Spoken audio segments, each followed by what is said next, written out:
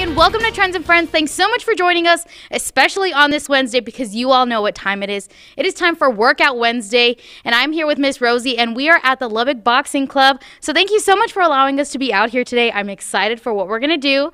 You're going to be our instructor for today, so tell our friends at home what our workout is. Great. Well, thank you, Skylar. Thanks for in, inviting me to, to come to people's homes.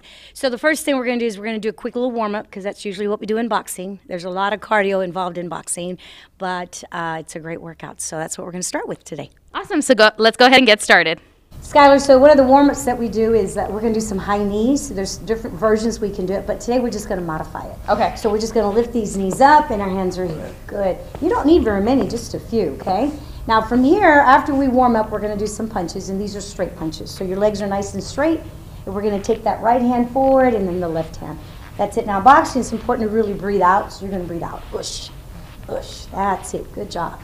That's it. Now we also have another punch. It's called a hook. And the movement's somewhat the same, except now we're turning circular. That's it. Okay. You got it. Here we go. So on the left and then the right. Good. And you turn that hip. Good. Good movement there. Okay. Now we also have some head movement. Okay. It's called bobbing and weaving. So we're going to duck, roll out, duck, and roll out. So it's kind Okay. of like the letter U. Got it. Right? So we duck, and then we roll out, and then we duck, and then we roll out. Good. All the way. Now from this position, you can also punch. So I'm going straight. That's it. Beautiful. Good. All the way through and back. Good. Now once we're done, we're gonna get we're gonna go ahead and get back into fighting stance. So you're an orthodox fighter, so we're gonna put your left leg in front. Okay. We're gonna add all those punches together. And you can be creative, you can be exciting, all of that in there. Ready? Okay. And go. Any punch you want. Just go ahead and breathe. Ush, ush. That's it. All the way through. Good. Good job, sweetie. You got it. Awesome. All right, so that's it. You did great.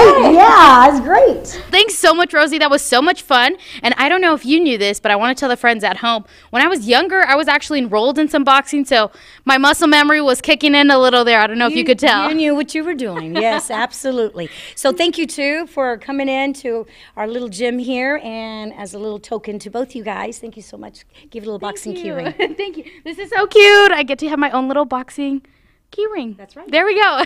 and so if people want to come out and maybe join your awesome club because it is awesome in here, Thank you. where can they find more about you? Um, our website is Lubbock's with an S, lubbocksboxingclub.com. I'm also on Facebook, uh, The Boxing Club, and on Instagram. Or they can just come by, 4th and Frankford, right next to Walmart.